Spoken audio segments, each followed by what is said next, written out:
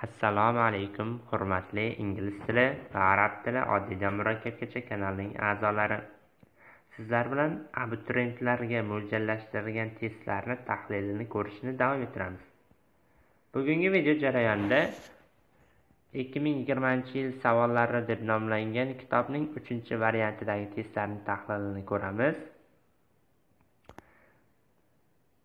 Ikkinchi variantni olmaganligim sababi bilasiz, bunaqa namuna variantlarda asosan savollar takror keladi. Ikkinchi variantdagi savollar birinchi va uchinchi variantdagi ba'zilarida takror kelgan ekan. Shu uchinchi variantdagi 18 ta faqatgina 18 ta test savolni ko'ramiz. Kitobni o'zida grammatik savollar soni 20 tadan oshib ketgan ekan. Menimcha o'ylab qoldim, bu ko'chirma kitob bo'lsa kerak, asl variantga o'xshamaydi, lekin har bir testni tahlilini ko'rib qo'yish foydadan xoli emas. Birinchi savol. Birinchi savolimiz bog'lovchilarga doir savol. Bog'lovchilarga doir savolni topish uchun eng avvalo qilinadigan ish gapni to'liq tarjimasi bilan tanishib olish. Sababi bog'lovchini topishda shunchaki usul bilan topib bo'lmaydi, albatta tarjimaga bog'lashimiz kerak. Xo'p, gapda nima deyapti? Ular ikkisi turmushida baxtsiz bo'l bo'l baxtsizdi, baxtsiz edi va ular farzandlar farzandlarini parvarish qilishni davom ettirdi yoki farzand tarbiyasida davom etdi bo'lyapti. Endi bog'lovchi qo'yishimiz kerak. Ga qaramasdan, ya'ni ular turmushda baxtli bo'lishiga qaramasdan farzand tarbiyasida davom etdi. Chunki bo'lsa, ular oilada baxtsiz bo'lganligi sababli farzand tarbiyasida davom etdi. Ular farzand tarbiyasida davom etdi. Go'yoki turmushda baxtsizlik edi. bo'lib qolyapti. D-ni qo'ysak, ezefni qo'ysak, have-ni qo'ysak, lekin bo'ladi. Ma'no jihatdan e'tibor bergan bo'lsangiz, tarjima jihatdan ham A variant yaqinroq. Ular turmushda baxtsiz bo'lishiga qaramasdan farzandlarini tarbiyasida davom etishga qaror qildi. Javobi bo'ladi. Qolgan variantlar esa ma'no jihatdan xato bo'lib chiqib ketadi. Xo'p, ikkinchisi olmoshlariga bog'liq savol. So'roq olmoshlari bo'lyapti. Question pronouns once so'ziga e'tibor beramiz. Which one yoki which ones shakli bor. Faqatgina shu olmosh keladi. Qolganlar kelmaydi. A lot of ones, how much ones degan shaklda o'zi mavjud emas. What ones ham xato. Ya'ni ba'zi bir abituriyentlar o'ylashi mumkin, which bilan whatni qaysi degan ma'nodagi farqiga keladigan bo'lsak, which ikkita narsani qaysiligini so'rash uchun ishlatiladi. Masalan, deylik, Do you like banana or an apple. Sen bananni yoqtirasanmi yoki olmani? Deganda o'sha o'rinda whichni ishlatishimiz mumkin. Which do you like? Banan or an apple deb. Qolgan holatlarda what ishlatiladi ya'ni ikkidan ziyod bo'lsa qaysi ma'noda? What day is it? Bugun qaysi kun? Kunlar soni yettita ikkidan oshyapti. O'sha o'rinda what qaysi degan ma'noda ishlatiladi. Lekin one so'zi bilan kelish holati faqat whichda bor. Ko'plik b otni bildirsa ham what ishlatilmaydi which ones? bo'ladi. Uchinchi savol. Yana bog'lovchiga doir savol. Quyosh chiqdi hamon yoriq. Endi qo'yishimiz kerak. E quyosh chiqdi emas quyosh menimcha set o'tirdi yotdi bo'lyapti. Quyosh yotdi yoki quyosh botdi chunki hamon yoriq a variant qo'ysak ma'no xato bo'lyapti. Quyosh yotdi shuning uchun hamon yoriq xato. Quyosh yotdi va hamon yoriq baribir ham xato. Quyosh botdi lekin hamon yoriq. Ma'no jihatdan bot to'g'ri keldi variantimizga. To'rtinchi savol. Modallarga doir savol. Modallarda birinchi e'tibor beradigan qismimiz fe'lga e'tibor berishimiz kerak. Do fe'li kelyapti. Barcha modalga qarab chiqamiz. Hammasi to'g'ri. Keyingi qiladigan ishimiz ma'noga qarash. Ma'noga e'tibor berishimiz kerak. Should be degan shakl bor edimi modalda albatta yo'q. Should be degan shakl yo'q. Be kelish holati modallarda must be'da bor may be'da bor can be'da bor. Qoidasini takrorlab o'tadigan bo'lsam must be can be maybe ehtimol degani inkorda can't be maybe may not be shakli qoladi. Ya'ni masalan aytish mumkin jasur must be at home jasur uyda bo'lsa kerak bu kuchli taxmin.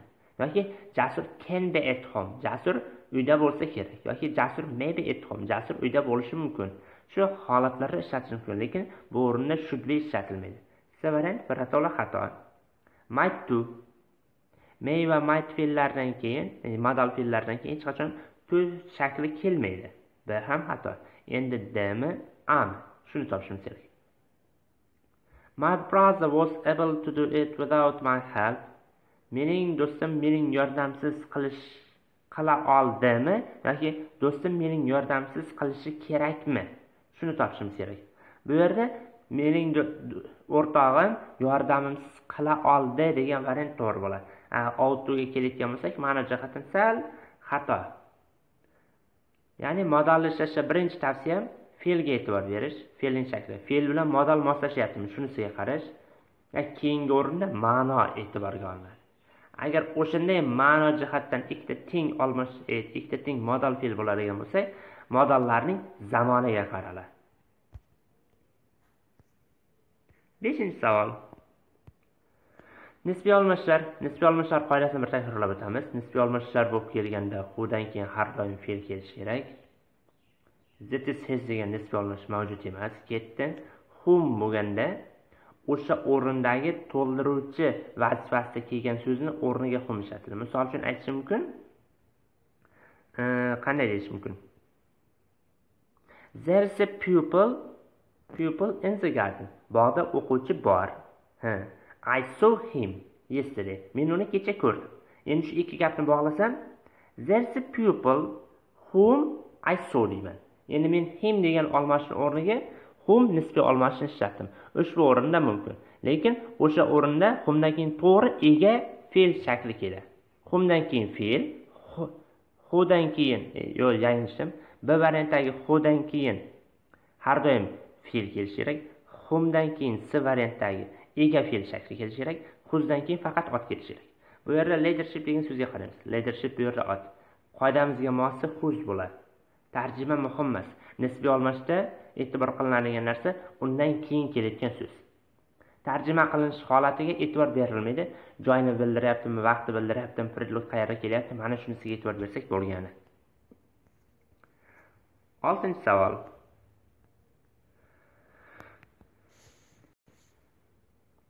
Oltinchi savolda so'z o'yini ketyapti. Ho'p militsiyachi topdi uni topdi. Qanday topdi? On the floor on his study. O'z izlanishida uni topdi qanday topdi? Noxush holatda topdi noni holatda topdi. Bilinmagan holatda topdi. O'zini yo'qotgan holatda topdi bo'lyapti anshua noni holatda topdi bo'lyapti. Hop unknown noaniq bu ham unknown ham unconscious behush holatda anaviya noma'lum holatda. Biz unconscious variantini belgilaymiz uni izlanish natijasida polda behush holda ya'ni parishon xotir holda topdi bo'ladi qolgan variantlar xato bo'ladi. Ma'no jihatdan ham so'z o'yinlarida asosan so'zning ma'nosiga e'tibor berib topgan ma'qulroq gapning to'liq tarjimasini bilgan holda. Beshinchi savol. Beshinchi savolda olmoshlarga bog'liq savol. Ho'p agar aza inaza degan olma shakllari bor o'zasi buni avvalgi test tahlillarida ham grammatik qoidasini aytib o'tib ketganman. Agar undan oldingi testlarni tahliliga bir e'tibor bersangiz qoidasi qisqa bo'lsada tushuntirib o'tilgan lekin har shu testda ham aytib o'tishga harakat qilaman. E'tibor beramiz. From predlog side birlikdagi ot. The othersga qaraymiz. Agar aza olmashdan keyin s ko'plik qo'shimchasi kelsa yoki boshqa shakllarda bo'lib turib baribir ham oxiri s bilan tugatgan bo'lsa undan keyin ot kelmasligi kerak. Sayt bo'lmaganda the others javob to'g'ri bo'lar ho'p endi enaziga qaraymiz. Enazidan keyin birlikdagi sanaladigan ot kerak. Lekin bu yerda from enazi site desak from predlogi borligi uchun enazi xato bo'ladi.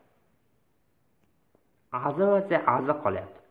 From predlog predlogdan keyin biz olmashning artikl olgan shaklini tanlaymiz from the other side sababi gapni o'qiydigan bo'lsak the windows was so felt that it could neither see through them nor be watched from the other side.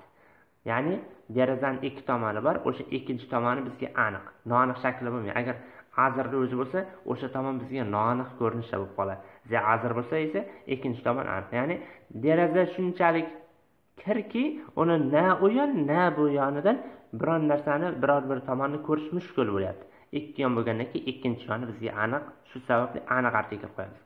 ot aniq bo'lsa ze azir noaniq bo'lsa azir undan keyin ot kelmasa ze azers agar otimiz noaniq bo'lsa azir shakli ishlatiladi endi birlikdagi sanaladigan otlar bilan kelish kerak.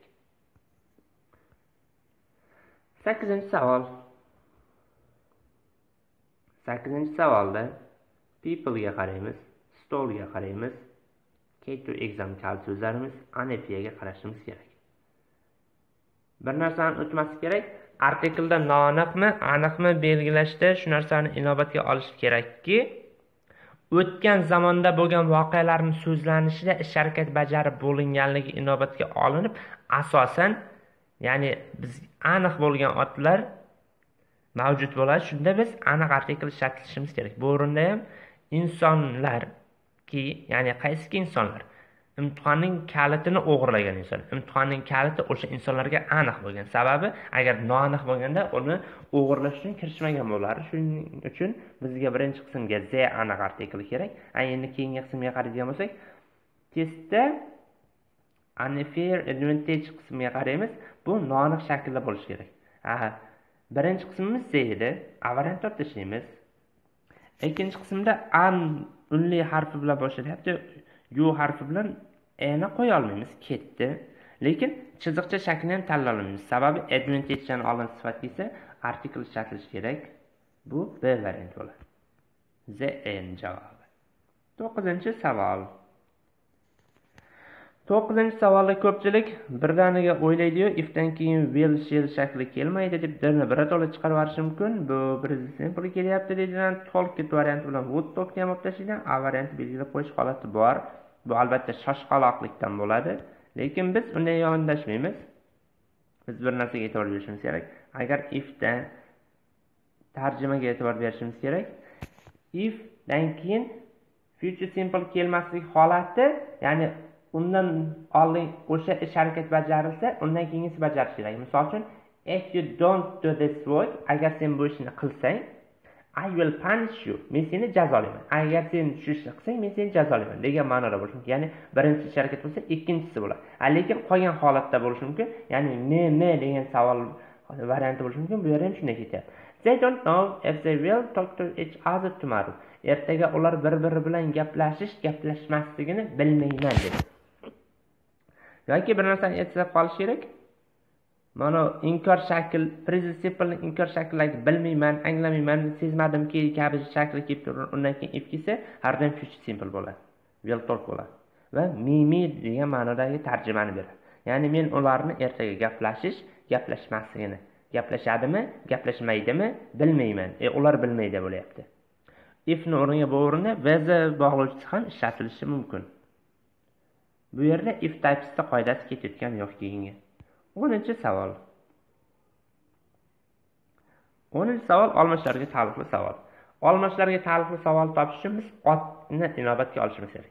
Ho'p ko'pchilik qiladigan xatosi gapda ot yo'qku deydi. Zenga qaraymiz. Zen qaysi? Bu zen qiyosiy sifatning kalit so'zi shuning uchun biz qiyosiy sifatlarni olamiz fyu oddiy daraja oddiy daraja list orttirma daraja. List bilan fewer qoladi list bilan fewerni asliga qaytaramiz. List bu asli little edi fewerni asli few edi. Little bilan fewni farqi nimada edi? Little sanalmaydigan otlarga few sanaladigan ko'plikdagi otlarga ishlatiladi. Ho'p bu yerda ot yo'qku qanday qilib bilishimiz mumkin deyapti. Sen ozgina ertaroq kelishing kerak edi ma'nosida bo'ladigan bo'lsa ozgina ya'ni vaqt nazarda tutilyapti. Vaqt esa bizda sanalmayotgan ot hisoblanadi. Shuning uchun biz listni belgilashimiz kerak. Bunaqa savollar ham tushishi mumkin. Otsiz holatda kelganda ma'noga e'tibor berishimiz kerak. Nimaga dalolat qilayotganiga bu o'rinda vaqtga e'tibor berilyapti. Shuning uchun vaqtni inobatga olib biz list variantini belgilaymiz. Fewer bo'lganda ko'plik ot kerak edi afsuski testimizda ko'plik ot mavjud emas. O'n birinchi savol. O'n birinchi savol yana modallar modallarda aytdim birinchi navbatda fe'lni inobatga olishimiz kerak. Distinguish hamma fe'l bilan tushyapti. Should have to can't mustlar bilan ketyapti. Endi ikkinchi usul gapning zamoniga e'tibor berish suffers. Hozirgi zamonda. Should can't must have to hozirgi zamonda. Ketdimi keyingi usul va eng so'nggi usul tarjima. Artur ranglarni farqlolmaslikdan aziyat chekyapti. U ko'k bilan e, ko'kdan yashil rangdan havo rangni ajrata oladimi? Ajrata olmasligi kerakmi? Shuni topishimiz kerak ajrata olish kerak bo'lib turibdi. Bu o'rinda maslahat bermaymiz. Artur haqida gap ketayotganda artur ranglarni farqlashdan qiynalyapti yashilni havo rangdan ajratish kerak bo'lsa gap buzilib ketyapti. Hayotda bo'lsa ajratishga aynan majbur bo'lib qoladi. O'zi rangni farqlamayotgan odam qanday majbur bo'lishi mumkin? Shuni ma'no jihatdan xato. Masga kelsak ajratishi judayam majbur bo'lib qoladi va bu kant bo'ladi. Ya'ni yashil rangni havorangdan ajrata olmaydi. Ya'ni ranglarni farqlashni bil ranglarni farqlolmaydigan kasallikka yo'liqqanligi sababli degan ma'noda ketadi. Kant bo'ladi bu o'rinda. Should have the must ma'no jihatdan xato. O'n ikkinchi savol. O'n ikkinchi savolda bu yerda bizni infinitiv gerund mavzusida savollar ketyapti. Lekin ko'pchilik ko'rib buni infinitiv gerundligini farqlash qiyin sababi infinitiv va gerondning majhul nisbat shakllari ham mavjud. Bu g'opporovning ingliz tili grammatikasi ancha yaxshi tushuntirib berilgan. Buning uchun albatta o'zbek tili grammatikasidagi atamalardan voqif bo'lish kerak. Lekin agar vaqt kelsa vaqt topsam bo'sh vaqt topsam asta sekinlikda abituriyent grammatikasi degan mavzudan ham zamonlarni tugatib bo'lgach asta sekinlikda infinitiv gerund mavzusini ham to'liq joylab qo'ymoq qo'yish niyatim bor. Buni yaqin kelajakda qilamiz. Uzog'i bir yil vaqt yetadi. Aniq shu oyga deb va'da bera olmayman baribir ham. Ho'p enjoyga qaraymiz. Enjoydan keyin infinitiv keladimi gerund keladimi shuni aniqlashtirib olishimiz kerak. Enjoydan keyin har doim gerund shakli kelishi kerak. Ya'ni fe'lning ing olgan shakli. Biz force stop tashlaymiz. Bu fe'l birga s qo'shilgan shakli. Fe'ldan keyin yana s qo'shilgan fe'l shakli kelmaydi. Forced fe'l ikki shakli. Bu shakl ham xato. Endi bizda being bilan to be forced qolyapti Yuqoriroq qoidaga e'tibor beramiz enjoydan keyin fe'lning ing olgan shakli kelishi kerak va fe'lning ing olgan shakli b variantda bor. Va bu majhul nisbatdagi hozirgi zamon gerondi gerondning majhul nisbatdagi shakli kelyapti. Being forced upon absurd measures and rules shaklida kelmoqda. Qolgan variantlar xato. Tarjima qilish emas tarjima qilish shart emas. Infinitiv geronddagi testni ishlashda asosan fe'lning holatiga e'tibor berishimiz kerak. O'sha fe'l o'zidan keyin nimani talab qilishligini bilishimiz kerak. Tarjima qilinadigan holati asosan o'n to'rtta bo'linadigan gerund fe'llar mavjud. Bir biridan farqini farqlash qiyin bo'lib qoladi. Misol uchun aytaylik rememberdan keyin ham ing ham to plus fe'l bir shakli kelishi mumkin. Ana o'shanaqa fe'llar o'n to'rtta o'sha fe'llar bilan ishlash jarayonida asosan tarjimaga e'tibor berilishi kerak. Oson oson yo'llari ham bor zamonlarga e'tibor berish holatlari bor. Buni kelajakda o'tamiz. O'n uchinchi savol. O'n uchinchi savolda bog'lovchilarga doir savol. Ho'p bog'lovchilarni ishlashda bir narsani e'tiborga olish kerak tarjimadan tashqari fe'lning gapning kelish shakliga e'tibor berishimiz kerak. Agar ega fe'l kelish shakli bor bog'lovchilarda ega fe'l kelmasdan fe'l olib kelish shakli bor. Onlivedan keyin har doim ega fe'l shakli keladi inkesdan keyin ham ega fe'l keladi in order to bilan without qolyapti in order todan keyin fe'lning birinchi shakli keladi tuslanmagan bare infinitiv shakli keladi withoutdan keyin esa fe'lning gerund shakli keladi bu yerda making ing olgan shakl kelyapti. Shuning uchun biz bni belgilaymiz. Without. In order to bo'lganda edi make sure bo'lardi. Ing tushib qolgan bo'lishi kerak edi. Tarjima esa bu bog'lovchilarda shart emas. O'n to'rtinchi savol. O'n to'rtinchi savol ham zo'r savol. Buni ko'pchilik chalkashtirib qo'yishi mumkin. Bir narsani e'tiborga olish kerak. Bu yerda sodda gap ketyapti. Sodda gaplarda ingliz tilida hech qachon ikkita fe'l ishlatilmaydi. Shuning uchun biz birato'la d variantni olib tashlashimiz kerak variantlar orasida. Endi ami simi bmi biz sifatdosh degan mavzuni tanish bo'lishimiz kerak. Ingliz tilida sifatdosh degan mavzu bor. Hozirgi zamon sifatdoshi o'tgan zamon sifatdoshi. Ya'ni e, buni participle deb nomlangan. Participle sifatdosh. Ho'p kal so'zini chizib olishimiz kerak. This days shu kunlarda shu kunlarda bo'lsa bu present continuous participle bo'ladi. Hozirgi davom etayotgan zamonning sifatdoshi bo'ladi. Bunda biz being built variantini belgilashimiz kerak this testga qarab. Buildingga keladigan bo'lsak qurilayotgan bo'lib qoladi. This test borligi uchun xalaqit beradi. Bu building hozirgi zamon sifatdoshi. Built esa o'tgan zamon sifatdoshi bo'ladi. This test kal so'zi borligi uchun biz b variantni belgilaymiz. Testimizni shu yerda nihoyasiga yetkazaylik. Video hajmimiz oshib ketgani sababli telefonda ma'lumot ko'payib ketibdi. Hozir videoni davomini ololmas ekanman. Buning uchun uzr. Buguncha 14 ta test tahlilini ko'rib turamiz. Kelgusi safar qo'ldan kelgancha bundan ham ko'proq testlarni tahlil qilib berishga harakat qilaman.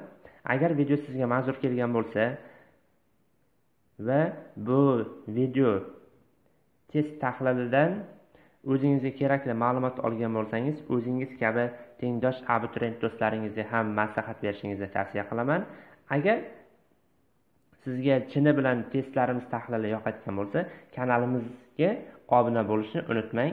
Kanalimiz yonidagi obuna bo'lish yoki podpisatsiya tugmachasini bosib qo'ysangiz bo'lgani faqat yana bir narsani unutmaslik kerak. Videolar ikki haftada bir uch haftada bir kelyaptiku. Buncha kam deb nolishlar bo'lmasin. Sababi rostini aytsam avvalgi safarlar ham aytganman. Deyarli vaqtim kam. O'quv markazida deyarli olti kun darsim bor. Shundan bo'shagan kunim test tahlilini qilib berishga harakat qilaman. E'tiboringiz uchun rahmat. Kelgusi safar murakkab testlarni albatta tahlil qilishga harakat qilaman. Asosan abituriyent testi bo'lmay mavzulashtirilgan testlarni birgalikda ko'ramiz. Shuning uchun izohda qaysi mavzuga aloqador bo'lgan murakkab advanced darajasidagi testni tahlilini bilishni xohlasangiz izohda yozib qoldirishingiz mumkin. Sizni fikringizni inobatga olib o'sha mavzudagi testlarni tahlil qilib beraman.